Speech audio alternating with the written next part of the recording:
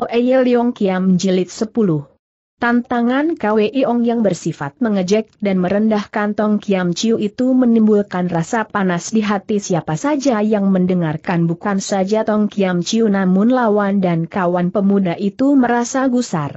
Tong Kiam Chiu meloncat melalui jendela terjun ke tanah.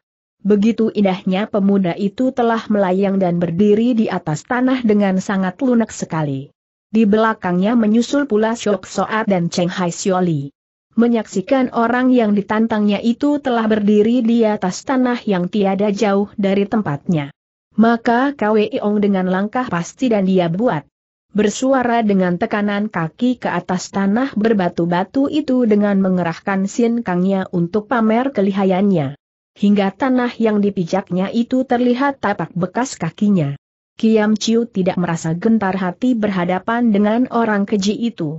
Dia mengawasi wajah Kwei Ong dengan mata waspada. Ketika Kwei Ong berada tiada jauh lagi di hadapan Kiam Chiu, tiba-tiba pemuda itu meloncat menerkam dada Kwei Ong dengan tangkas sekali. Namun Kwei Ong sudah bertekad untuk membinasakan Kiam Chiu. Dia telah memiringkan tubuh dan dengan ilmu cakaran Garuda saktinya akan membinasakan Kiam Chiu. Pada saat itu banyak para pendekar silat yang berada di tempat itu di samping para pendekar dari aliran tua, juga terdapat lebih dari 40 pendekar silat daerah pertengahan berada di tempat itu. Mereka telah menyaksikan sikap KWI Ong yang keji dan akan membinasakan Tong Kiam Chiu. Mereka telah mengenal jiwa dan watak Kiam Chiu. Seorang pemuda yang mempunyai ilmu silat lihai, berwatak airia dan berbudi luhur. Maka banyaklah bahkan hampir semuanya membantu Kiam Chiu. Pada saat kritis itu di mana Kwei Ong telah melayang dan mengarahkan jari jemarinya yang beracun itu ke arah wajah dan dada Kiam Chiu, tiba-tiba tampaklah sebuah bayangan berkelebat di tengah-tengah kedua orang yang tengah mengadu sinkang itu. Tampaklah kedua orang itu terpental bersama Kiam Chiu terpelanting kembali dan jatuh begitu pula Kwei Ong mendorong balik dan jatuh pula, kedua orang itu merasa kagum akan kehebatan orang itu. Bersamaan dengan itu pula telah terdengar pekikan Shin Kai Lolo tahu-tahu tubuh nenek itu telah melesat dan berdiri di hadapan Kwei Ong, yang juga disusul oleh Kun Simokun, Siok Siat Sini, Eng Chiok Taisu, Ai Kiam Suseng, Teng Siok Siak dan Cheng Hai Sioli. Mereka berdiri di hadapan Kwei Ong dengan sikap menantang. Kemudian tampak pula kelebatan tiga sosok tubuh yang ternyata adalah orang-orang yang semula bersikap seolah-olah membantu KWI Ong. Orang-orang itu tidak lain ialah, Tai Jat Chin Jin, Chiok Hok Lotu dan Liat Kiat Koan mereka telah berdiri dan menghadapi KWI Ong dengan sikap menantang pula. KWI Ong menyaksikan semuanya itu dengan terperanjat, tiap kali dia memandangi wajah orang-orang yang menggempurnya itu dengan satu perhitungan dan mengernyitkan kening. Namun dia tidak merasa gentar menghadapi mereka itu semuanya. Dia pun telah menyangka bahwa akhirnya dia harus berhadapan dengan sekian banyak pendekar di daerah pertengahan. Hal itu memang telah diperhitungkannya. Untuk menghadapi Kun Simo Kun saja yang menggunakan siasat Engkoli Kiat Cheng, dia tidak mampu. Apalagi kini dia harus menghadapi sekian banyaknya jago-jago silat tangguh. Maka dalam hati sebenarnya Kwei Ong mengeluh. Tetapi terbawa dengan sikap sombong dan tidak mau ditundukkan maka dia segera mencabut pedang Oei Leong Kiam. Sebenarnya Kwei Teong menyadari dengan meawan sekian banyak orang-orang gagah yang memang berilmu lihai dan berbagai aliran perguruan atau partai persilatan itu maka dia berarti akan mengantarkan jiwa namun untuk mengundurkan diri KWI Ong merasa malu. Maka karena tekanan semua perasaan dan untuk menguasai semuanya itu justru KWI Ong lalu tertawa terbahak-bahak.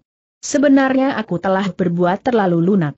Aku telah banyak mengampuni nyawa banyak pendekar di daerah pertengahan ini. Namun kini aku terpaksa menyampaikan janjiku untuk menumpas jago-jago silat di daerah pertengahan ini seru Kwei Ong dengan sikap sombong dan siap menyerang. Dengan pedang Oai Leong Kiam di tangan kanan dia telah memamerkan permainan ilmu silat bersenjata pedang itu dengan sangat hebat sekali. Dalam sekejap mata saja seolah-olah tubuhnya telah dikurung oleh kilauan-kilauan sinar pedang yang memancarkan cahaya biru dan menyilaukan mata. Tampaklah seolah-olah tangan KWI Ong telah berubah menjadi beberapa pasang dan masing-masing memegang pedang Oei Leong Kiam dengan suara gemuruh yang diakibatkan oleh angin sambaran pedang itu. Semua orang yang menyaksikan permainan pedang itu merasa kagum. Sampai sekian lamanya dan sampai beberapa jurus KWI Ong telah memutar-mutar pedangnya namun tiada seorang pun dari para jago silat itu yang melawan atau membalas menyerang KWI Ong. Mereka hanya berloncatan menjauh atau menghindari tiap sabetan, bacokan maupun tusukan pedang Kwe Yong itu. Ketika mendapat kenyataan seperti itu, maka Kwe Yong lalu menarik kembali serangan-serangannya. Dia memandang ke arah orang-orang itu dengan wajah yang tampak sangat seram dan mati merah menyala oleh dendam dan marah. Kwe Yong membentak dan menantang para pendekar. Hei mengapa kalian tidak melawanku? Apakah kalian takut? Tanya Kwi Ong dengan suara sombong dan congkak seru menantang. Berbareng dengan berakhirnya kata-kata itu dia telah menyerang ke arah barisan para pendekar dari daerah pertengahan itu dengan tikaman keras dan menimbulkan hawa gemuruh juga. Tahan terdengar bentakan menggeledek dan ternyata suara bentakan itu begitu hebat dan mempunyai pengaruh hebat pula terhadap KWI Ong. Ternyata orang yang membentak itu tiada lain ialah seorang kakek berjenggot putih dan panjang tiada lain ialah Tai Jin Jin. Tai Jin Jin meloncat di hadapan Kwei Ong. Sambil memandang Kwei Ong tanpa berkedip dan ternyata pandangan mata kakek itu sangat berwibawa dan membangkitkan suatu perasaan malu dan segan di hati Kwei Ong. Aku sudah tua, tetapi aku berani melawan kau. Kau tidak perlu melawan banyak, Orang seru Tai Jin Jin sambil memandang Matu Kwei Ong. Selanjutnya berkata lagi jika kau mau mendengarkan usulku yang bijaksana ini, kukira pertumpahan darah dapat dihindarkan titik. Saat itu hati Kwei Ong yang biasanya keras seperti baja dan wataknya yang sombong serta telengas itu, benar-benar telah dapat dilunakan oleh Tai Jin Jin dan menyadari bahwa dia dapat mati konyol, kalau nekat menghadapi sekian banyak jago-jago silat itu. Apakah usulmu itu tanya Kwei Ong ingin tahu. Tai Jacin Jin mengelus-elus jenggotnya yang putih dan panjang itu seraya memandang ke arah Matu Kwei Ong dan berkata, Aku akan menjelaskan tentang usulku yang bijaksana itu kepadamu dan kepada sekalian orang-orang gagah di sini. Tetapi ku minta pedang Oai Leong Kiam itu disarungkan terlebih dahulu, juga semua senjata para pendekar disarungkan, agar supaya aku dapat berbicara dalam suasana damai seru Tai Jin Jin sambil menghormat kepada semua orang yang berada di tempat itu. Kwei Ong segera menyarungkan pedangnya, begitu pula diikuti oleh segenap pendekar menyarungkan senjata masing-masing. Seolah-olah apa yang dikatakan oleh tokoh angkatan tua itu sangat penting dan kata-katanya mempunyai pengaruh hebat terhadap mereka. Menurut pendapatku, kata Tai Jin Jin, hanyalah Tong Xiao Hiap yang dapat membaca atau mengerti rahasia petapak seng kita telah tahu pula, tanpa petapak seng itu kita tidak akan dapat menemukan tempat penyimpanan kitab pusaka Pak Sengkisu. Maka kini mengutamakan untuk mengetahui tempat itu dan lagi sudah menjadi peraturan pada pertemuan Bulim Tahwe bahwa barang siapa yang telah dapat memegang atau mendapatkan kitab pusaka Pek Sengkisu maka dia itulah juga berhak memegang pedang Oai Leong Kiam. Sekarang berhubung sudah jelas bahwa yang mengetahui rahasia petapa seng itu hanyalah Tong Xiao Hiap maka marilah kini kita menjaga bersama keselamatannya kakek itu mengakhiri kata-katanya. Semua orang yang berada di tempat itu mengangguk-anggukan kepala, kecuali KWI Ong. Ketika semuanya ternyata diam tanpa ada yang membuka suara maka kakek Tai Jin Jin itu meneruskan kata-katanya.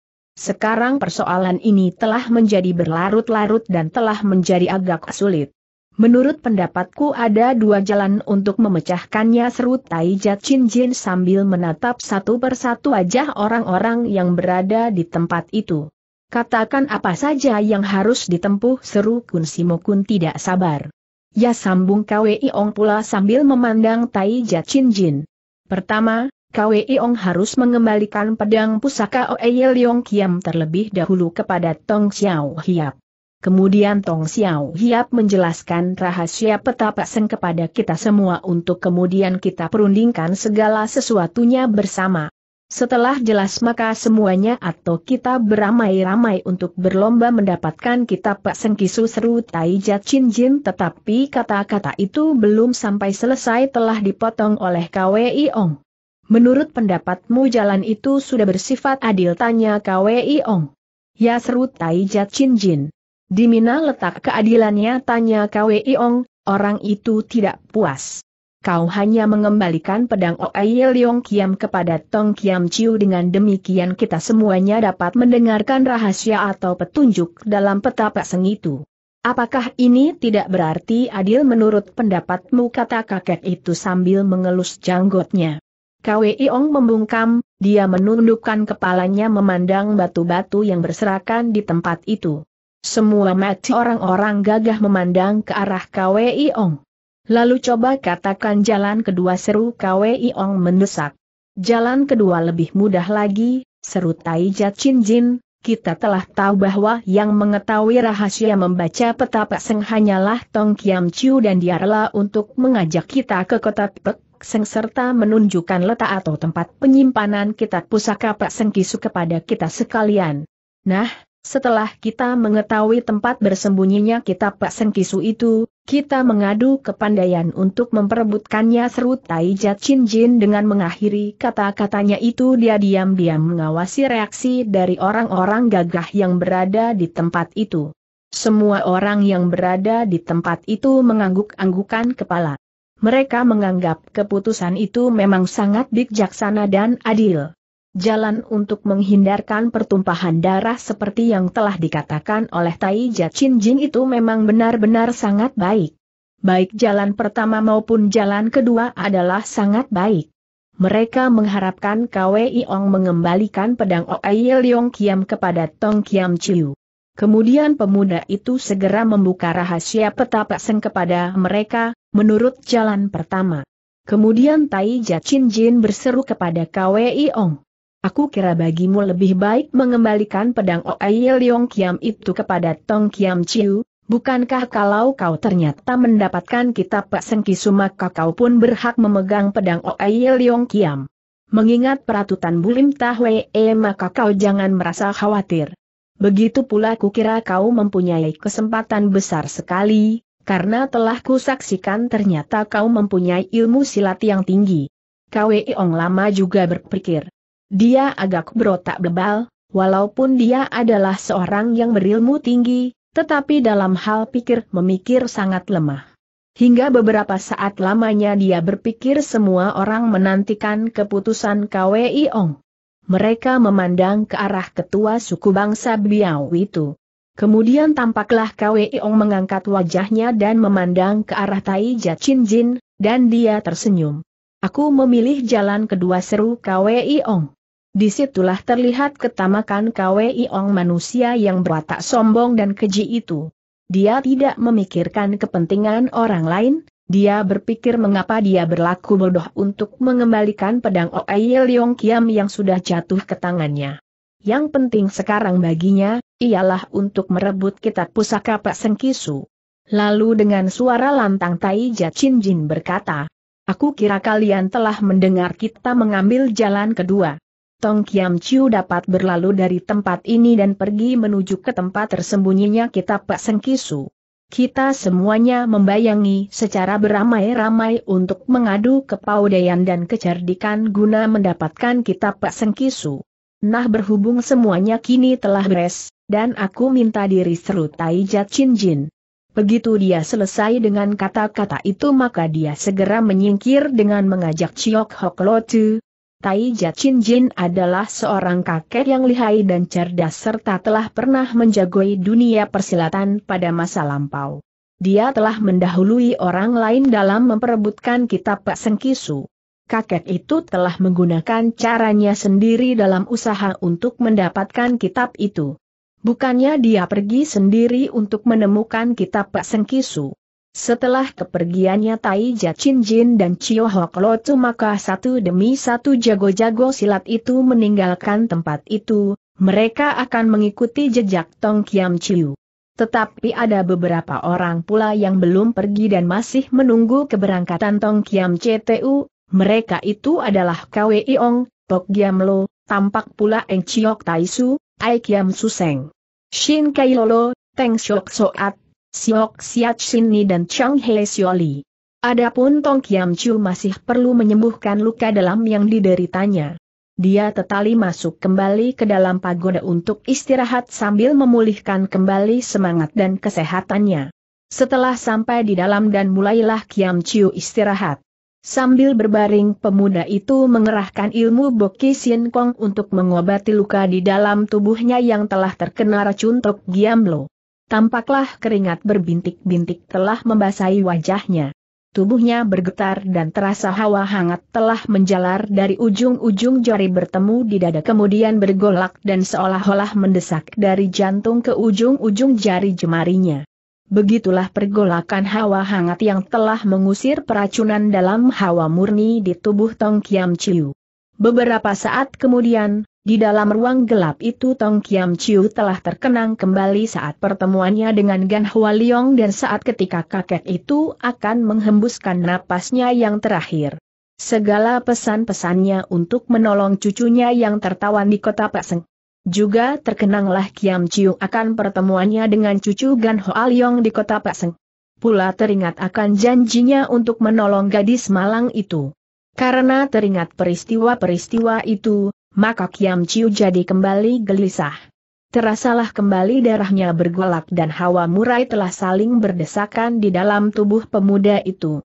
Tong Kian Chiu gelisah sekali, dia berusaha untuk mengatasinya. Setelah dirasakan keadaan pergolakan hawa murni dan tenaganya telah pulih sedikit dan menjadi agak tenang. Maka Kiam Chiu lalu mengeluarkan kertas peta paseng di tempat yang gelap pekat itu dia yakin bahwa peta itu dapat dilihat. Ternyata benar juga, maka tampaklah guratan-guratan berwarna kebiru-biruan seperti sinar kunang-kunang membentuk garis-garis gambar peta paseng. Kiam Chu menelitinya.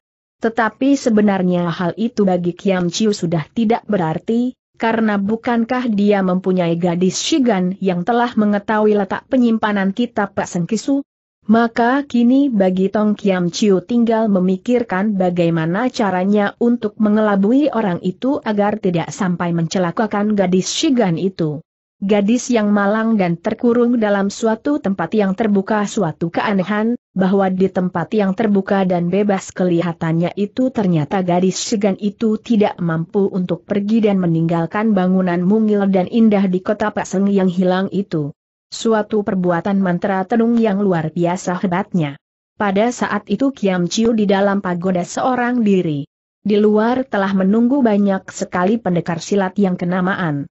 Juga termasuk Kwe Iong dan Shin Kai Lolo. Persoalan utamanya ialah kita Pek Kisu. Adapun Cheng Hai Xiaoli yang semula menaruh kebinasaan Tong Kiam Chiu ternyata kini telah mengubah sikap. Dia lama-lama telah mengenal sifat dan jiwa Tong Kiam Chiu. Metu, tidaklah mengherankan kalau kini gadis pendekar wanita yang baju hijau itu menaruh rasa hormat dan simpati pada Kiam Chiu. Bahkan kini dia bersedia untuk memberikan bantuan atau membela untuk kepentingan pemuda itu. Angin berhembus halus sejuk rasanya. Saat itu masih siang hari, namun di dalam pagoda memang tampak gelap pekat. Tetapi kalau di dalam pagoda itu telah beberapa saat lamanya, maka tampaklah keadaan dalam pagoda itu, seolah-olah kita telah dibiasakan dan terbuka lensa kita untuk melihat dalam keadaan itu. Sesaat lamanya Kiam Chiu telah memeriksa peta paseng itu. Kemudian terdengarlah sayup-sayup suara seruling menebus kesunyian dalam saat itu. Seruling itu tertiup sangat halus dan mengalun iramanya menghanyutkan perasaan. Siapa pun yang mendengarkan irama seruling itu badannya terasa sangat letih dan kemudian terasa mengantuk. Gaib, gaib benar suara seruling itu. Siapa pun ingin mendengarkan suara irama seruling yang menyayat hati itu, namun kalau mereka mendengarkan maka mereka itu merasa kepingin sekali untuk tidur. Kemudian, Setelah lewat lima menit lamanya semuanya tertidur. Baik Tong Kiam Chiu yang berada di dalam pagoda maupun Kwe Ong di luar pagoda merasa sangat mengantuk dan akhirnya mereka tertidur. Tai Jia Chin Jin dan Chiok Hok Lotu yang berada tidak jauh dari pagoda telah mendengar pula bunyi irama seruling itu. Mereka juga merasa sangat mengantuk dan akhirnya tertidur di atas tanah. Pokoknya siapa pun yang mendengarkan suara seruling bambu itu akhirnya akan tertidur dengan perasaan tenang dan pulas sekali, hingga beberapa saat lamanya dalam keadaan terlena itu tiada mendengarkan suara apa pun lagi. Beberapa saat kemudian alunan seruling itu terhenti. Semua orang telah tertidur dalam keadaan tidak sadar, mereka tertidur sangat nyenyak sekali. Tampaklah di tingkat bagian teratas dari pagoda itu seorang gadis bertubuh langsing menarik dan wajahnya sangat menarik sekali. Liuk tubuhnya mendatangkan rasa rindu dan birahi. Siapakah gerangan gadis jelita yang meniupkan seruling penghanyut sukma itu? Gadis jelita yang berilmu tinggi dan selalu mengendarai kereta indah dalam pengembaraannya di kalangan Kang Ong? Gadis jelita yang selalu menjadi teka-teki umum gadis jelita yang menguasai ilmu Pan Yok Shin Im dan menggegerkan dunia Kangou. Tiada lain adalah Chit Chia, gadis jelita yang telah jatuh cinta kepada Tong Kiam Chiu. Gadis yang telah berkorban karena cintanya kepada Tong Kiam Chiu. Benar-benar dia tiada lagi berkata bohong dan tidak dapat membantah tanpa disadarinya telah begitu kuat jatuh hati kepada Tong Kiam Chiu. Cintanya begitu hebat hingga tidak dapat lagi dia berpura-pura untuk mengalah. Hatinya seolah-olah telah lekat pada Tong Kiam Chiu. Tong Kiam Chiu adalah dirinya dan dirinya adalah Tong Kiam Chiu. Maka serasa tiada sempurnalah menurut perasaan Chit Chia kalau dia berpisah dengan Tong Kiam Chiu, hingga dia terpaksa harus selalu membayangi di mana pun Kiam Chiu berada. Chit Chia memeriksa hasil pekerjaannya kemudian melampaikan tangan dan tiada lama kemudian tampaklah seorang wanita mendatanginya, wanita itu telah menerima perintah dari Chit Chia kemudian pergi lagi. Tinggallah gadis jelita itu seorang diri mendekati tempat Kiam Chiu, sedangkan Kiam Chiu telah terbangun dan pemuda itu merasa heran karena dirinya telah tertidur di luar kesadaran. Mengapa aku tertidur tanpa aku sadari pikir Kiam Chiu? Kiam Chiu lalu berdiri dan keluar pagoda memeriksa keadaan. Ternyata semua orang dalam keadaan tertidur nyenyak. Juga Kun Simokun dan Kwe Ong begitu juga Teng Chok Siak dan Cheng Hai Sioli. Mengapa mereka semuanya juga telah tertidur? Hem, semuanya sangat aneh pikir Tong Kiam Chiu. Kemudian pemuda itu telah memasuki pagoda lagi. Tetapi ketika kakinya baru menginjak ambang pintu pagoda telah tercium bau harum yang pernah dikenalnya. Belum sempat Kiam Chiu berpikir lebih lanjut, dia telah menyaksikan Chit Chia berdiri sambil tersenyum sangat manis sekali.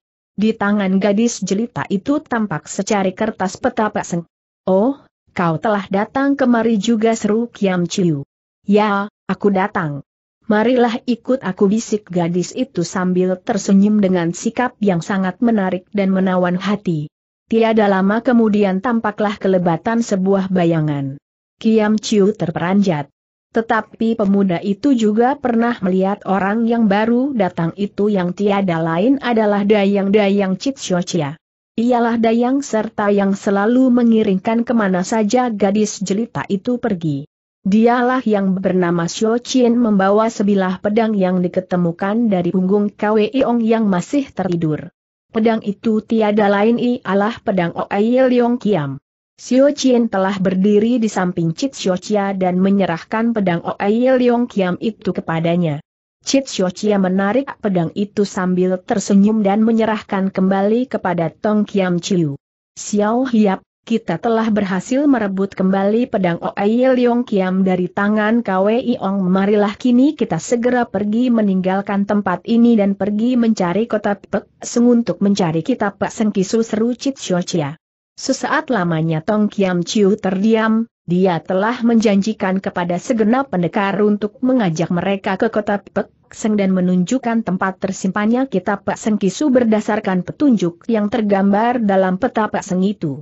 Maka gelisahlah hati Tong Kiam Chiu karena usul Cit Chia itu. Tetapi aku telah, jawab Tong Kiam Chiu bingung. Cit Chia tersenyum mendengar jawaban pemuda itu, kemudian berbisik kepada Tong Kiam Chiu. Apakah Tong Xiao Hiap ingin membangunkan mereka semua tanya Cit Chia sambil tersenyum. Tong Kiam Chiu menganggukkan kepala, tetapi Cit Chia tersenyum. Tetapi menurut pendapatku, mereka biarlah tetap tertidur di sini, lalu kita pergi mencari kitab Pak Sengkisu. Setelah kita menemukan kitab itu kita kembali lagi ke sini. Care itu saya kira sama saja dan tidak melanggar dari ketentuan bukan? Aku ingin lihat nanti bagaimana musuh Tong Xiao Hiap dalam keadaan kebingungan dan terheran-heran karena mereka tertidur itu kata Chit Chia sambil tersenyum.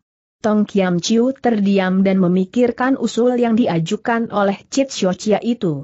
Menurut perhitungan Tong Kiam Chiu usul gadis jelita itu memang benar dan baik.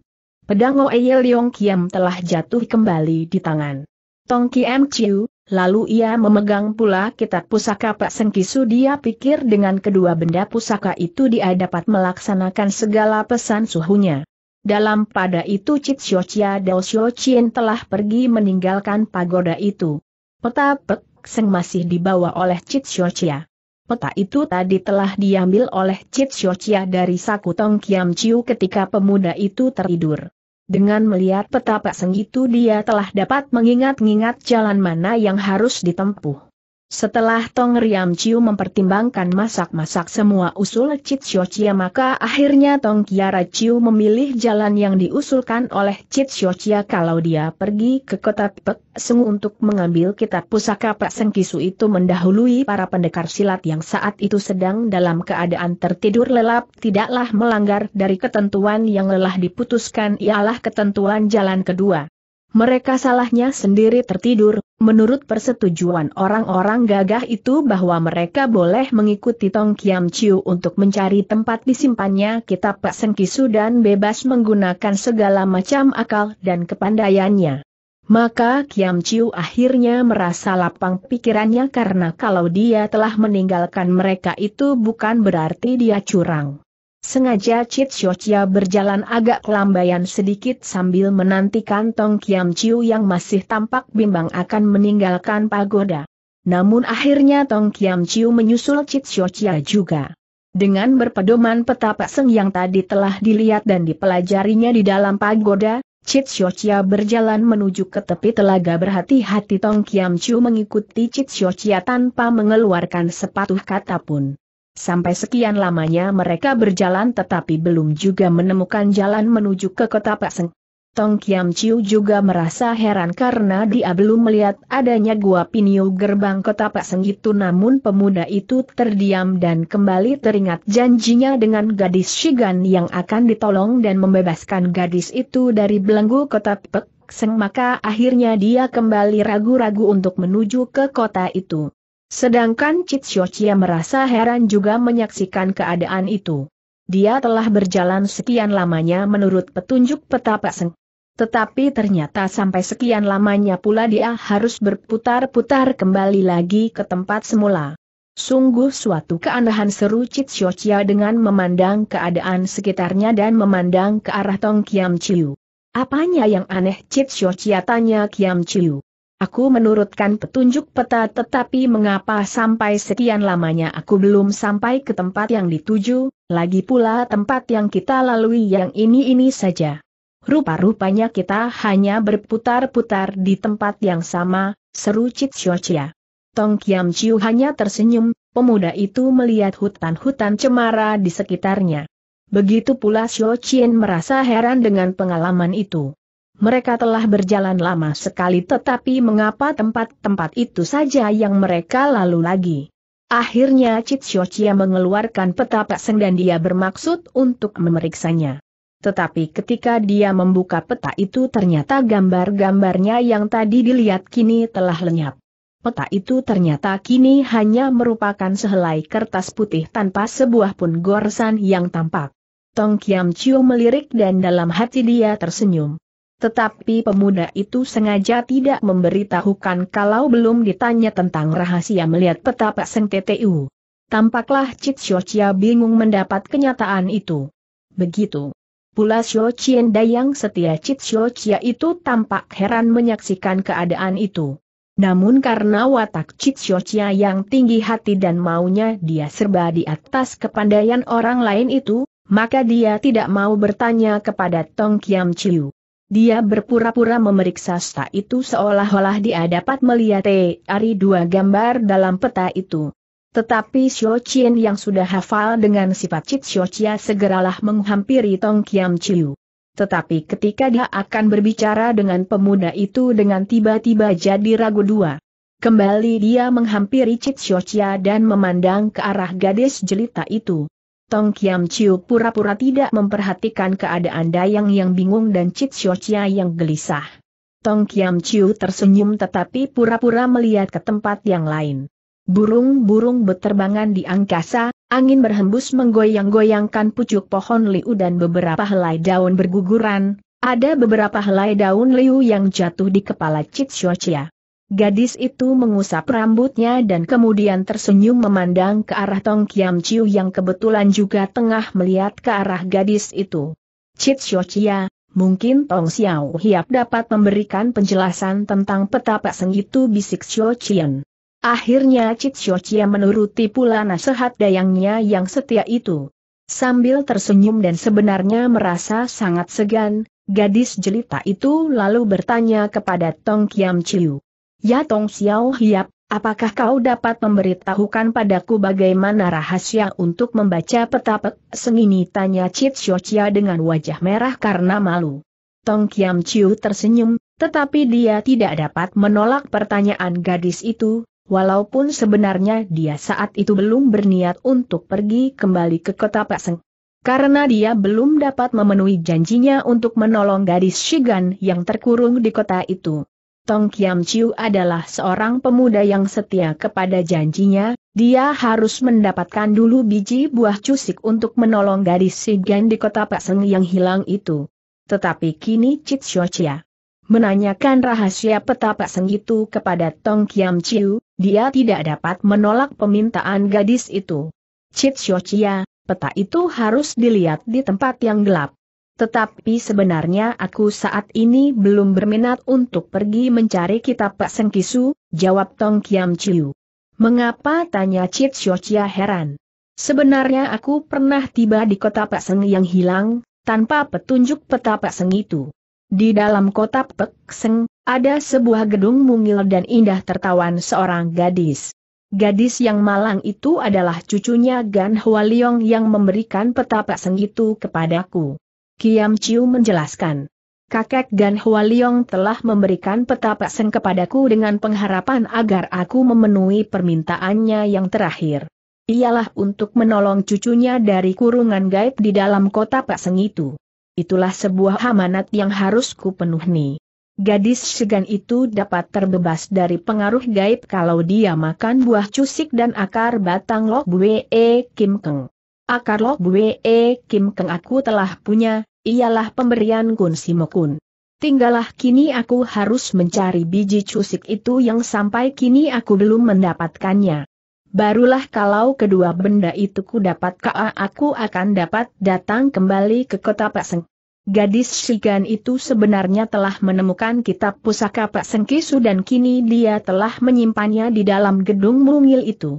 Dia telah berjanji kalau saya menyerahkan kedua benda itu akar Lok Bue E Kim Keng dan biji cusik dia pun akan menyerahkan kepadaku kitab pusaka Pak Sengkisu. Chit Xio Chia dan Xio Chien mendengarkan kisah Tong Kiam Chiu itu dengan penuh perhatian, setelah Kiam Chiu berhenti bercerita maka Chit Xio Chia lalu menyahut dengan nada suaranya penuh kegirangan. Rupa-rupanya kita beruntung. Biji cusik itu aku punya. Aku mendapatkannya dari pemberian ibuku dan ku simpan baik-baik dalam kotak obat-obatanku. Aku perlu pulang dulu untuk mengambil, kemudian kita dapat segera pergi ke kota Pek, Seng seru Cit Xiaocia dengan girang. Tong Kiam Chiu juga merasa gembira mendengar penuturan gadis itu kemudian dia mendesak kepada Cit Xiaocia. Sekarang begini saja, Cit Xiaocia dan Xiao dapat segera pulang dulu untuk mengambil biji cusik itu. Sedangkan aku akan mencari sebuah penginapan dulu untuk mengobati luka-luka dalamku serta memulihkan kembali tenaga dalamku yang telah kacau balau ini. Usul Kiam Chiu itu dapat diterima juga oleh Chit Chia maka sampai di tempat itu mereka berpisah Chit Chia dan Xiao Chien pergi ke utara untuk mengambil biji cusik. Sedangkan Kiam Chiu sesaat lamanya memandangi kepergian Chit Chia dengan hati penuh keharuan. Gadis itu begitu jelita dan menawan hati, lagi pula telah banyak menolongku. Hem, sayang sekali, pikir Kiam Chiu. Kembali dia teringat adiknya Tong Wee dan juga kedua orang tua serta pamannya yang telah lenyap dan tiada mendengar kabar beritanya semenjak pertemuan di atas telaga Angtok O dan kemudian datang bencana angin topan hebat itu dulu. Sedangkan dengan Shin Kai Lolo dia belum sempat bertanya tentang keadaan ketiga Shin Chiu Sam Kiat serta adiknya Jitong Bwe, karena ternyata keadaan terlalu gawat. Saat itu Kiam Chiu masih merasakan keadaan tubuhnya sangat lemah. Dia memerlukan istirahat selama beberapa hari lamanya untuk memulihkan kembali kesehatan tubuhnya dan mengembalikan tenaga dalam serta tenaga intinya yang kacau akibat luka dalam yang dideritanya. Maka kini Kiam Chiu lalu meninggalkan tempat itu untuk mencari tempat penginapan. Diceritakan bahwa pada saat itu Kwei Ong telah tersadar dari tidurnya. Dia telah meraba tempat pedang Oe Leong Kiam ternyata pedang itu telah lenyap. Dia jadi gelisah dan telah menduga hal dua yang tidak baik. Maka segeralah dia meloncat dan memasuki ke dalam pagoda untuk mencari Tong Kiam Chiu. Alangkah kagetnya ketika ternyata Tong Kiam Chiu tidak diketemukan di dalam pagoda itu. Dia telah mengobrak-abrik tempat itu tetapi Tong Kiam Chiu tidak diketemukannya. Maka segeralah dia lari keluar dan membangunkan semua jago-jago silat yang pada tertidur itu. Mereka semuanya bangun dengan perasaan heran mereka sama sekali tidak merasakan keadaan dirinya yang telah tertidur begitu saja. Maka tampaklah kacau keadaan saat itu. Tong Kiam Chiu telah lenyap. Dia telah mengecoh kita lagi seru Kwei Ong dengan suara lantang penuh kegusaran. Tetapi saat itu yang merasa girang adalah Kun Simokun dan kawan-kawannya. Mereka gembira karena ternyata Tong Kiam Chiu dapat terluput lagi dari bencana. Sedangkan pedang Oai Leong Kiam juga telah terpegang kembali di tangan pemuda itu menurut perhitungan Kun Simokun. Tetapi lain halnya dengan Kwei Ong yang bergusar hati dan juga lihat Kiat Koan yang berwatak kejam juga merasa sangat penasaran. Sekarang apa yang akan kita perbuat seru lihat Kiat Koan. Kita cari saja dan kita bunuh mati beres seru Kwei Ong dengan berakhirnya kata-kata itu langsung dia meloncat meninggalkan pagoda. Di belakang menyusul pula Liat Kiat Koan dan beberapa orang lagi mengiringkan kepergian Kwei Ong. Namun Kun Simokun dan beberapa orang yang bersimpati terhadap Kiam Chiu telah membayangi mereka. Kwei Ong yang hatinya terasa panas dan meluap-luap kemarahannya itu telah berjalan dengan cepat sekali. Dia telah bertekad untuk membinasakan Kiam Chiu bila dia bertemu dengan pemuda itu. Di mana pun pemuda itu berada akan selalu diubernya. Dengan kemarahan yang meluap-luap. Maka perjalanan itu dengan cepatnya telah menyusuri tepian telaga Angtok Ou. Tiada seberapa lama dia telah menemukan sebuah mulut gua yang menghadap ke tepi telaga di kaki pegunungan. Aneh sekali tempat ini ada guanya, baru sekali ini aku melihatnya. Ayolah kita masuk memeriksanya seru Kwei Ong kepada Liat Kiat Koan. Ya, suatu keanehan juga seru Kiat Koan dengan memandangi keadaan sekitar gua itu. Karena dia pun juga baru kali ini melihat gua itu. Maka mereka segeralah memasuki pintu gua itu.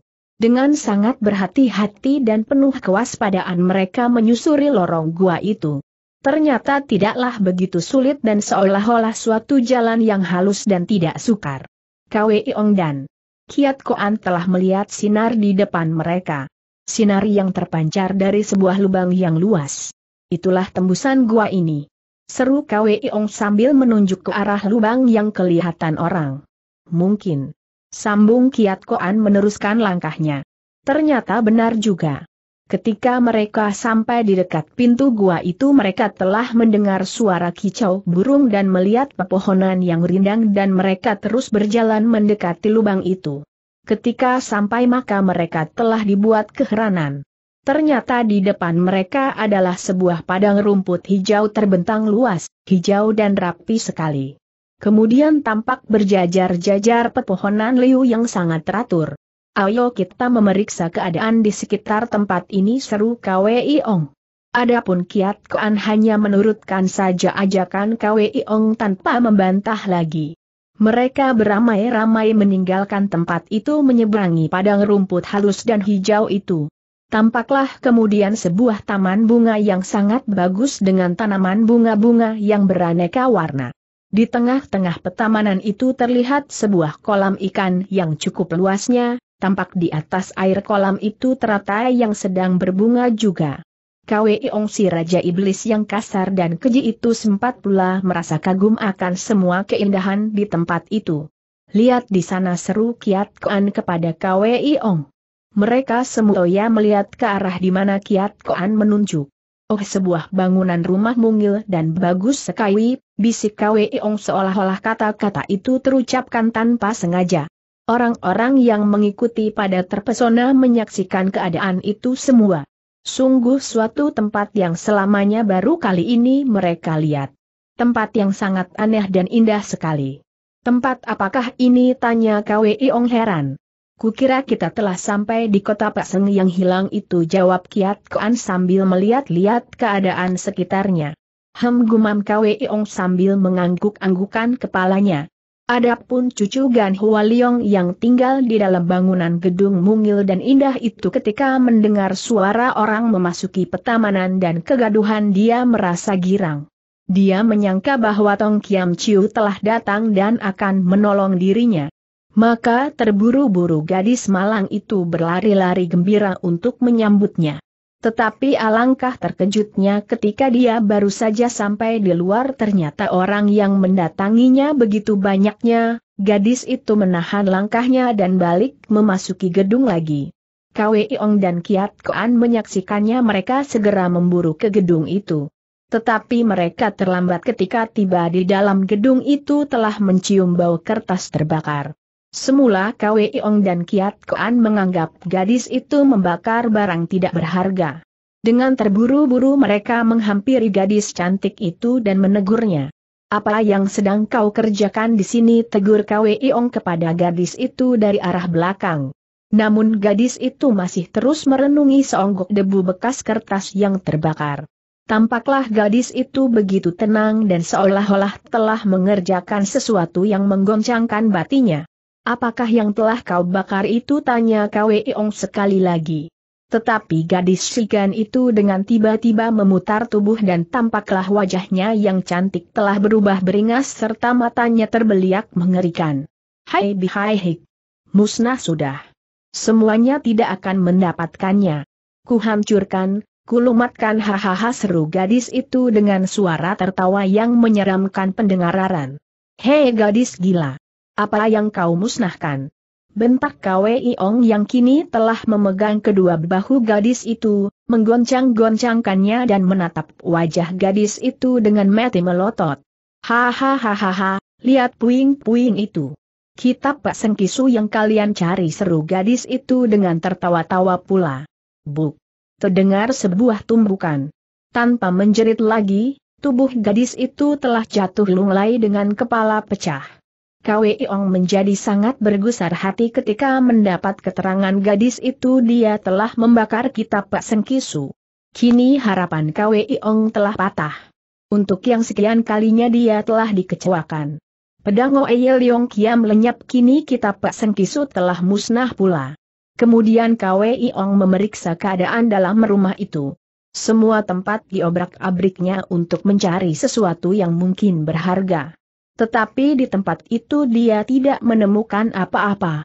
Jengkel hati Kwei Ong, Kiat Koan yang menyaksikan kekejaman Kwei Ong yang telah menghantam kepala gadis Shigan yang tidak berdosa itu hingga kepala gadis itu pecah dan tanpa sempat menjerit lagi, hati Kiat Koan merasa ngeri juga.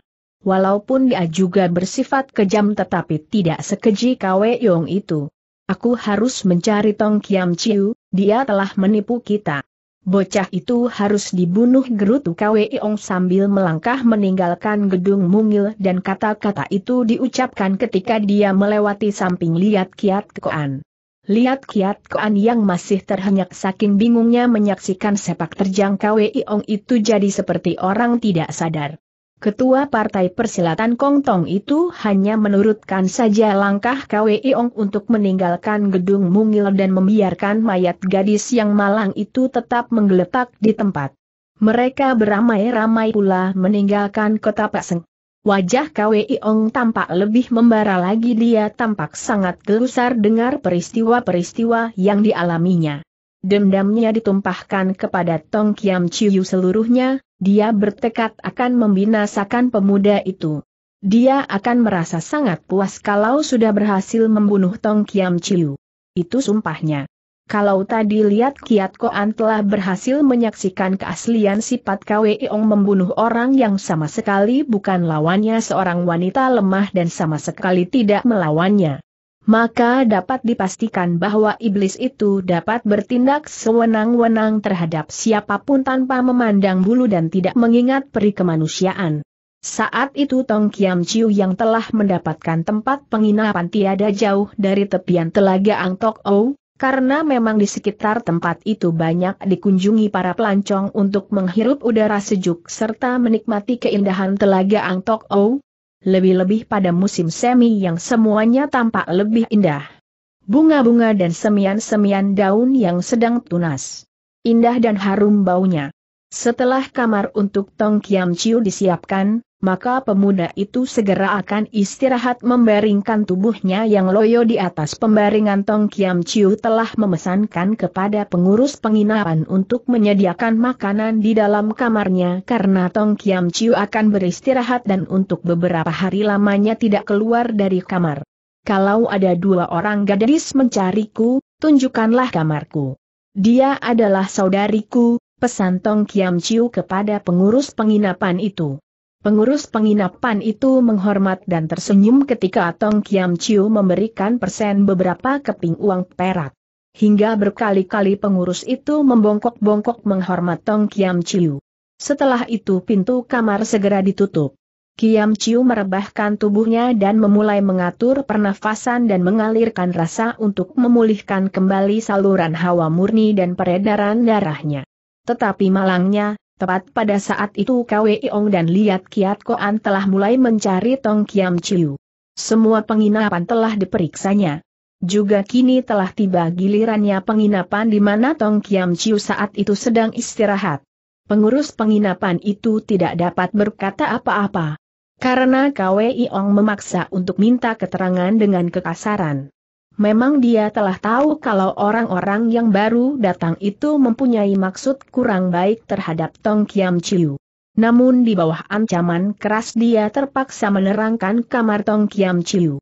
Tetapi, dia berpesan jangan diganggu karena sedang istirahat pengurus penginapan itu menerangkan. Diam dan perat Kwe Iong dan memukul leber orang itu hingga jatuh. Untungnya Kwe Iong menghantam hanya dengan tenaga biasa, jadi orang itu tidak mengalami patah leher. Walaupun begitu pengurus penginapan itu telah jatuh tersungkur di lantai. Kwe Ong dan Liat Kiat Koan menuju ke kamar Tong Kiam Chiu. Suara ribut-ribut itu terdengar juga oleh Tong Kiam Chiu.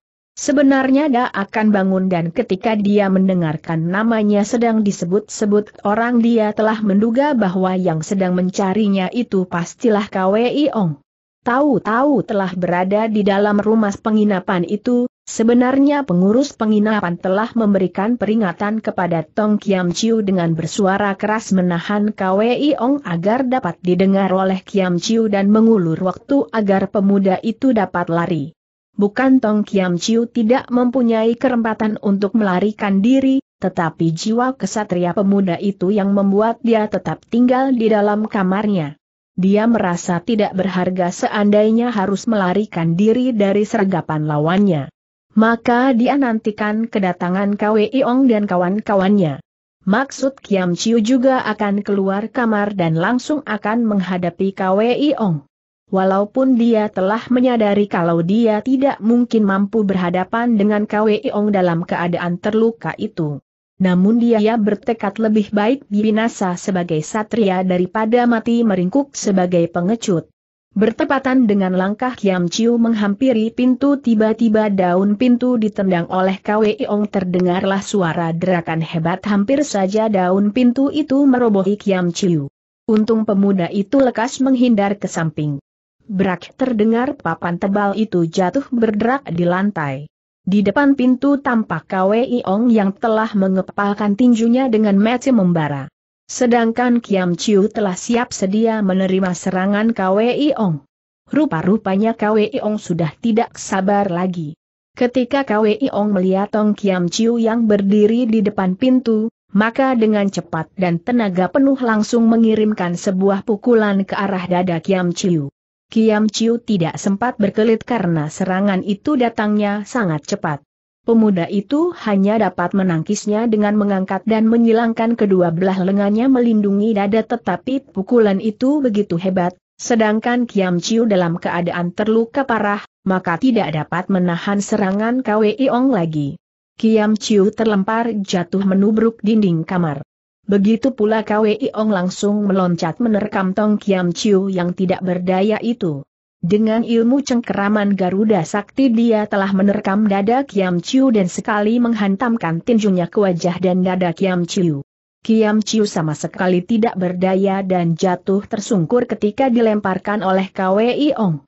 Masih juga belum merasa puas, Laki-laki berhati iblis itu telah menerkam lagi tubuh Tong Kiam Chiu dan dihantamnya dengan tinju berantai, tubuh Kiam Chiu lemah lunglai.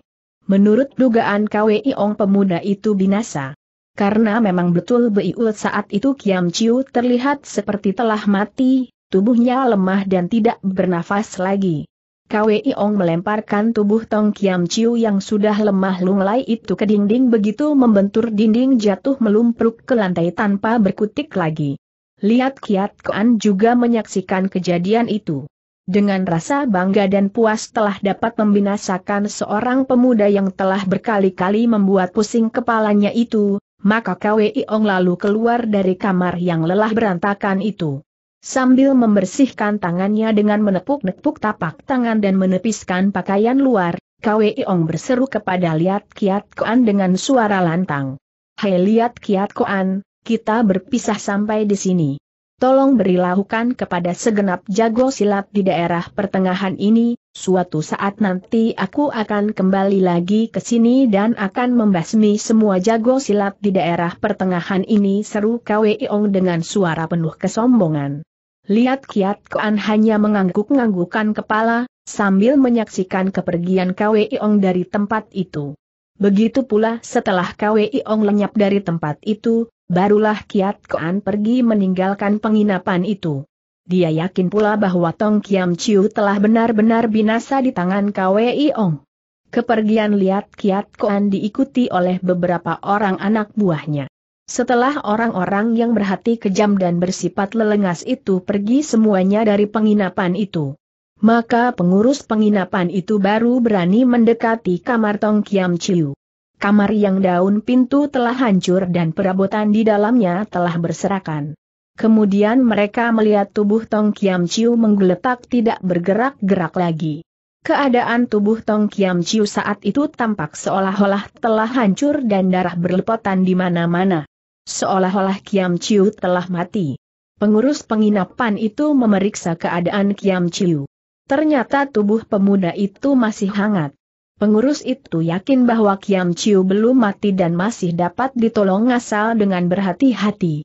Maka tubuh pemuda yang dalam keadaan tidak sadarkan diri itu lalu diusungnya ke kamar lain yang kosong. Kemudian dibaringkannya di atas tempat pembaringan. Pengurus penginapan itu telah berusaha untuk merawat dan menolong Tong Kiam Chiu. Setelah tiga hari berlalu, saat perpisahan Tong Kiam Chiu dengan Chit Xio Chia dan Xio Chien untuk mengambil biji cusik, barulah tampak gadis jelita itu memasuki penginapan untuk mendapatkan Tong Kiam Chiu. Chit Xiaoqia sama sekali tidak mengetahui kalau di dalam penginapan itu telah terjadi sesuatu bencana yang hampir saja membinasakan Tong Kiam Chiu. Gadis jelita yang selalu diiringkan oleh Xiao Qian itu dengan tenang dan tersenyum memasuki ruangan depan penginapan itu. Kedatangannya disambut oleh pemilik penginapan itu. Kemudian pengurus penginapan itu telah mendatanginya pula. Apa Xiao ini saudara Xiao Hiap tanya pengurus itu ketika diperhatikannya kedua gadis itu benar-benar. Ya jawab Cit Xiao Marilah titik sambung pengurus penginapan itu selanjutnya sambil memberikan isyarat untuk mengikutinya. Cit Xiao memandang Xiao Dayang setia itu menganggukkan kepala mengiyakan maka mereka berdua mengikuti pengurus penginapan itu setelah menghormat pemilik penginapan yang telah memandang ke arah mereka dengan sinar mata yang aneh. Hati Cit Xiaoqia berdebar ketika menyaksikan keanehan sikap pengurus penginapan serta pemilik rumah itu. Pasti ada apa-apa yang tidak beres telah terjadi di tempat itu. Begitu pengurus penginapan itu membukakan pintu kamar Cit Xiaoqia melihat di atas tempat tidur dalam kamar itu seorang yang telah menggeletak tenang. Cit Xiaoqia tanpa menunggu dipersilahkan lagi langsung masuk dan dalam hatinya penuh kekhawatiran. Aitong Xiao Hap seru Cit Xiaoqia sambil setengah melompat ke arah tempat tidur di mana Tong Kiam Chiu menggeletak. Sabat nona pengurus penginapan itu menghampiri. Tetapi Cit Xiaoqia tidak mendengarkan teguran itu. Gadis jelita itu langsung melangkah mendekati pembaringan Tong Kiam Chiu. Di samping gadis Iu berdiri pula dayang setianya ialah Xiao Qian. Nol Hatong Xiao biap kau mendapat luka. Seandainya aku tahu akan begini jadinya aku tidak akan meninggalkan kau seorang diri bisik Cit Xiaoqia dengan nada rawan dan sedih sekali. Kemudian gadis jelita itu memerintahkan Xiao Qian untuk mengembalikan kotak obat-obatan. Xiao Qian telah keluar dan Cit Xiao Chia seorang diri melap wajah. Tong Kiam Chiu yang tampak dengan bintik-bintik keringat. Sedangkan pengurus penginapan juga telah keluar bersama dengan dayang setia Xiao Chia tadi. Ketika Xiao Qian masuk lagi dengan membawa sebuah kotak yang berisi obat-obatan, maka gadis itu lalu mengambil sebuah tabung yang di dalamnya berisi yokwan. Diambilnya dua butir lalu dimasukkannya ke dalam mulut Tong Kiam Chiu. Xiao Chien keluar untuk mengambilkan air teh. Tong Kiam Chiu telah dua hari dua malam tidak sadarkan diri. Tetapi pemuda itu tampak selalu mandi keringat. Mungkin akibat bergolaknya Chen Kie di dalam pembuluh darah pemuda itu pergolakan yang akibat racun dan benturan tenaga dalam Kwe Iong dan racun Tok Giamlo. Hebat sekali akibatnya. Menurut perhitungan Chit Xiao jika dalam waktu tiga hari tiga malam tidak siuman, maka Kiam Chiu akan binasa. Setelah merundingkan segala sesuatunya tentang semua kerugian dan ongkos bermalam Tong Kiam Chiu, Kemudian Cit Xiaoqia membawa Tong Kiam Chiu keluar dari penginapan itu. Kepergiannya dilakukan pada menjelang senja. Semuanya berjalan dengan lancar tanpa ada yang melihat dan mencurigai. Hingga kemungkinan dibuntuti oleh kaki tangan Kwei Ong juga tidak ada. Dengan kereta yang indah yang biasa dipakai untuk berkelana oleh Cit Xiaoqia, Tong Kiam Chiu dibawanya pulang ke rumah gadis itu. Sama sekali pemuda itu tidak merasakan apa-apa selama dalam perjalanan. Karena dia selama beberapa hari sampai saat itu belum sadarkan diri. Setelah tiba di dalam rumah Cit Xiaoqia, segeralah Tong Kiam dibawa masuk seadiri oleh Cit Xiaoqia. Dengan sangat berhati-hati sekali gadis itu mengusung Tong Kiam Chiu. Tong Kiam Chiu telah dirawat oleh Cit Xiaoqia. Dengan penuh rasa kasih sayang gadis jelita itu merawatnya. Cit Xiaoqia bukan saja lihai ilmu silatnya, tetapi juga mempunyai keahlian mengobati orang sakit yang kesemuanya itu dipelajarinya dari ibunya. Setelah beberapa saat kemudian Xiao Qian si pelayan setia itu telah mengetuk pintu kamar kemudian memasuki kamar itu. Bagaimana keadaan Tong Xiao Hiap tanya Xiao Qian. Dia terluka parah, Aku khawatir sekali akan jiwanya. Jika dia tidak sadarkan diri dalam waktu tiga hari, aku khawatir dia akan mati. Jika dia sampai mati hidupku tak ada artinya bisik Cit Xiaoqia dengan suara rawan. Semoga usaha Xiaoqia dapat berhasil. Kalau sampai Tong Xiao Hiap meninggal maka yang kehilangan bukan hanya Xiaoqia seorang tetapi dunia Kang akan merasa sangat menyesal sambung Xiao Qian menghibur. Kamar di mana Tong Kiam Chiu dirawat itu sangat indah hiasannya, Warna-warni yang dipilihnya adalah warna yang kontras dan dihiasi dengan ukiran-ukiran yang serba indah. Sepasang pedang berjajar di sudut ruang kemudian sebuah lampion besar terletak di tengah ruangan itu. Semuanya sangat serasi dan menimbulkan rasa kerasan tinggal di dalam kamar itu. Tong Kiam Chu masih belum sadarkan diri. Namun pemuda itu telah mendengarkan suara nafas dan matanya telah mulai bergerak-gerak. Cit Xiaoqia menyaksikan itu dengan hati berdebar. Dia mengucapkan rasa syukur dan sangat mengharapkan akan kesembuhan Tong Kiam Chiu. Bau harum yang sangat segar tercium oleh Tong Kiam Chiu. Pemuda itu merasakan dadanya sangat enak sekali. Ringan sekali perasaannya. Terasa seolah-olah dia telah terbebas dari semua ikatan ataupun himpitan yang membelenggunya selama ini. Dengan perlahan-lahan Tong Kiam Chiu membuka matanya. Saat seperti itu yang ditunggu-tunggu dan diharapkan oleh Chit Xiaoqia selama menunggu Tong Kiam Chiu. Hatinya berdebar dan menjerit girang. Saking girangnya Chit Xiaoqia sampai menangis, air matanya meleleh karena kegembiraan dan keharuan. Pandangan matanya bertemu dengan pandangan mata Tong Kiam Chiu. Gadis itu tersenyum walaupun air matanya membasahi pipinya. Oh aku di mana sekarang bisik Tong Kiam Chiu yang masih sangat lemah nada suaranya.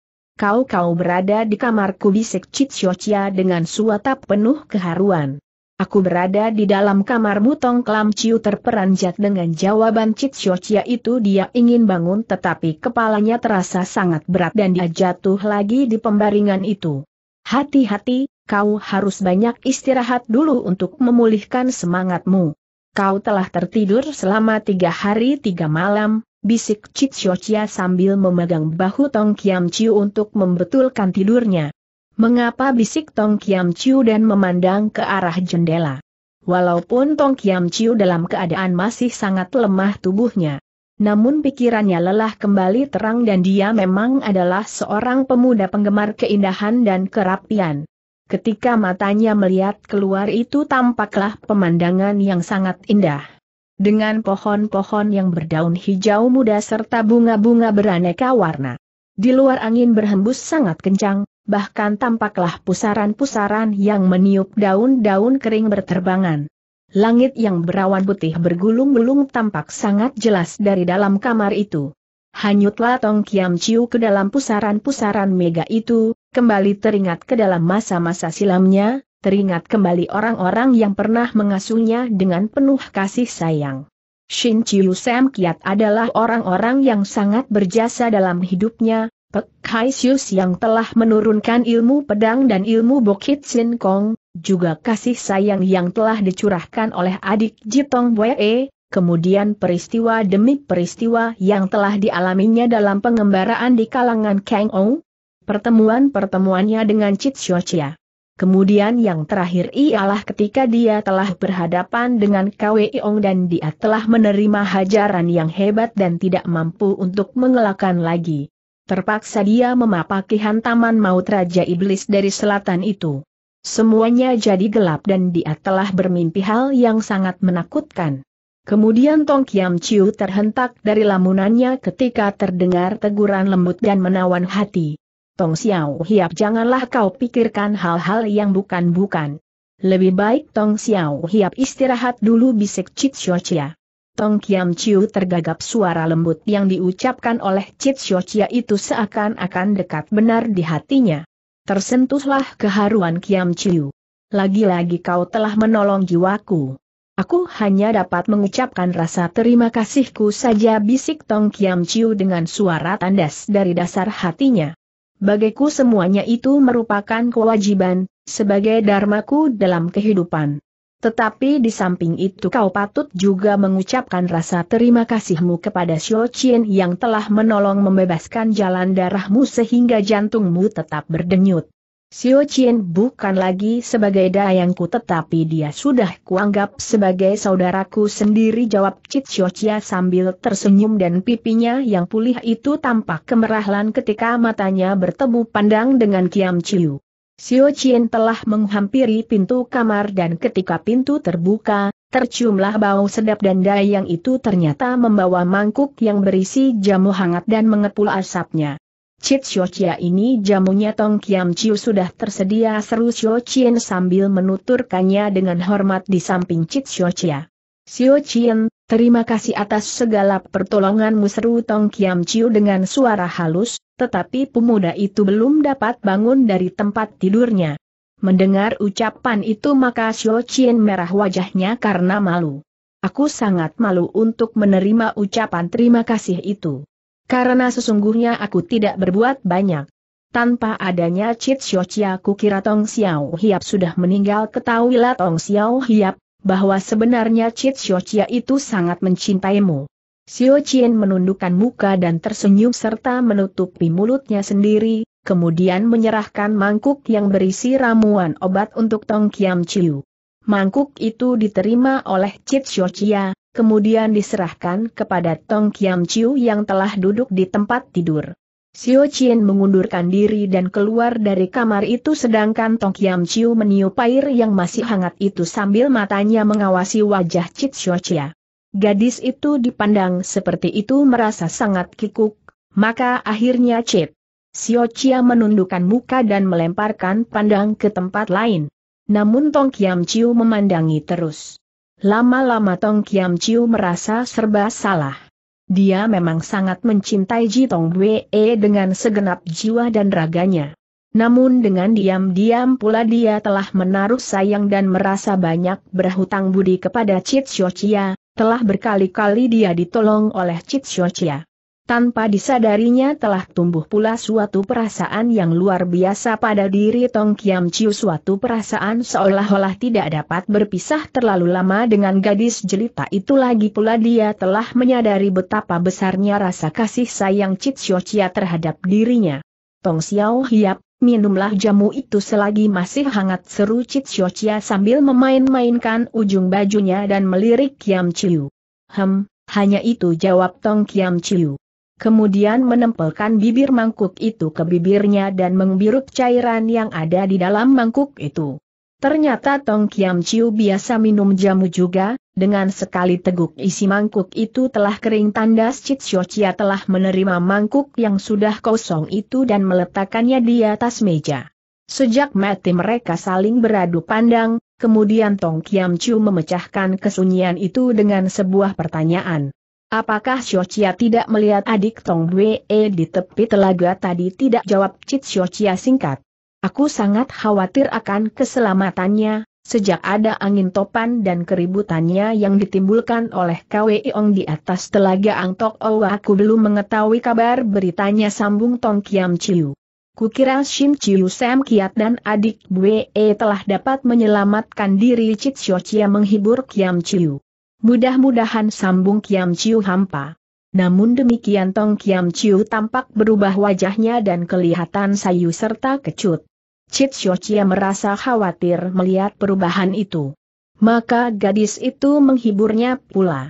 Sudahlah Tong Xiao Hiap, kau perlu istirahat sebanyak-banyaknya bisik Chit Chia percayalah bahwa mereka pasti selamat. Hem hanya itu yang terdengar dari mulut Kiam Chiu. Tong Kiam Chiu dipaksa oleh Chit Xiao Chia untuk berbaring kembali, agar obat yang telah diminumnya tadi dapat bekerja dengan sempurna dalam tubuh, walaupun bagaimana Tong Kiam Chiu akhirnya menurut juga atas anjuran itu. Tong Kiam Chiu berbaring kembali, namun matanya belum juga mau dipejamkan, sedangkan Chit Xiao Chia tetap duduk di sampingnya. Cit Chia bisik Tong Kiam Chiu tanpa melihat ke arah orang yang diajak terbicara. Ya Tong Xiao Hiap jawab Cit Chia sambil mengamati pemuda itu. Kamarmu indah benar dan rapi sekali. Ah, di manakah letak rumahmu ini? Hawanya begini segar bisik Tong Kiam Chiu dengan suara sangat dalam. Di sebuah desa yang terpencil di atas gunung jawab Cit Chia. Desa manakah tanya Kiam Chiu mendesak. Desa Citwi di perbatasan Provinsi Yunan di atas gunung jawab Cit dengan memandang ke arah wajah Tong Kiam Chiu. Tong Kiam Chiu teringat akan pembicaraannya dengan Shin Kai Lolo di atas perahu layar milik Oh Hin. Dia harus menemui seorang pendekar pertapa yang telah memencilkan diri di pegunungan. Seorang kakek dengan gelar Kiam Leng Jisu yang memencilkan diri di puncak Gunung Jit Liao Hang di pegunungan Tiam Chong San di Provinsi Yunan. Untuk memulihkan kembali kesehatan Tong Kiam Chiu perlu beristirahat selama beberapa hari di bawah pengawasan dan perawatan yang teliti dan penuh kasih sayang. Ternyata Chit Chia sangat baik merawat Kiam Chiu. Gadis itu selain parasnya cantik, ternyata juga mempunyai jiwa sabar dan kasih sayang yang tulus. Hal itu sangat dirasakan oleh Kiam Chiu. Sehingga pemuda itu merasakan hatinya tentram dan tenang sekali. Walaupun kadang-kadang dia merasa sangat sungkan menjadi beban seorang gadis yang selalu dikecewakannya itu. Namun apa boleh buat karena dirinya belum kuat untuk berjalan dan tangannya belum pulih kembali. Tugas-tugasnya masih menumpuk, semua persoalan belum dapat dikerjakannya. Dia harus dapat menyelesaikan tugasnya membalaskan dendam keluarganya kepada Ciam Guat. Tetapi Ciam Guat adalah seorang yang berilmu sangat lihai.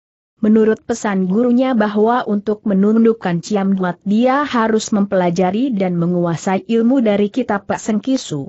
Maka dia harus dapat mendapatkan kitab Pak Sengkisu dan mempelajari serta memahami ilmunya. Untuk mendapatkan kitab Pak Sengkisu dia harus mendapatkan dua benda yang berupa akar lok bue, kim keng dan biji cusik. Dua benda itu telah didapatnya. Lok bue, kim keng didapat dari Kun Simokun, sedangkan biji cusik didapat dari Cit Chia. Hatinya telah menjadi lega. Kalau kedua benda itu telah di tangannya dan dia segera akan pergi ke kota Pek Seng dan menemui gadis segan cucu Gan Hualiong yang terkurung pengaruh jiwanya di gedung indah kota Pek Seng yang aneh itu. Tetapi untuk pergi ke tempat itu membutuhkan tenaga juga, apalagi kalau sampai di tengah perjalanan dia bertemu dengan orang-orang yang mempunyai minat juga dengan kitab Pak Sengkisu, dia pasti akan menemui bencana. Walaupun tekadnya sudah bulat dan sanggup untuk menghadapi segala-galanya. Namun setelah dipikir lebih lanjut bukankah kalau dia dalam keadaan masih lemah harus menghadapi lawan berarti akan menyerahkan nyawa bukan saja badannya akan sengsara, tetapi kitab pusaka akan jatuh ke tangan orang lain. Maka setelah memikirkan untung ruginya dalam tindakannya itu, Kiam Chiu telah mengambil kesimpulan untuk memulihkan dulu semangat dan menyembuhkan luka dalamnya. Dengan perawatan Cit Chia yang dibantu oleh Xiao Chien dan Peng Nio di rumah Cit Chia yang tenang di desa Citwi itu maka Kiam Chiu merasakan kesehatannya berangsur-angsur baik. Tiap pagi dan sore Kiam Chiu telah mulai latihan kembali. Pemuda itu mulai sedikit demi sedikit melatih gerakan-gerakan tangan dan kakinya yang begitu lama tidak digerak-gerakan karena dia harus selalu berada di tempat tidur selama dalam penderitaan itu. Latihan-latihan yang dilakukannya itu dengan sangat berhati-hati dan perlahan-lahan. Selama satu bulan Kiam Chiu dirawat oleh Chit Chia dengan penuh kasih sayang itu. Karena ketenteraman dan ketulusan Chit Chia itu, lama-lama Kiam Chiu dapat melupakan segala kegelisahannya. Dengan tiada terasa telah berlalu sebulan ia berada di rumah Chit Chia. Chit Ye, Aku telah terlalu banyak menyusahkan dirimu kata Kiam Chiu suatu hari. Ketika itu Kiam Chiu dan Chit Xiao Wei berjalan-jalan dan menikmati indahnya tanah pegunungan menjelang senja. Ah, Pong Xiao Hiap jangan terlalu memikirkan itu bisik Chit Xiao Wei sambil memegang lengan pemuda itu dengan menggelendotkan tubuhnya ke bahu Kiam Chiu. Kau terlalu baik padaku bisik Kiam Chiu. Namun gadis jelita itu tidak menjawab. Chit Xiao Wei hanya tersenyum dan melirik ke arah Kiam Chiu. Gadis yang berjiwa pengembara dan angin-anginan itu ternyata mempunyai kehalusan hati juga. Dia telah begitu menyintai Kiam Chiu hingga berkorban untuk apa pun. Dirinya memang diabdikan untuk cinta. Lebih baik dia berkorban daripada melihat kekasihnya menderita. Ilmunya lihai.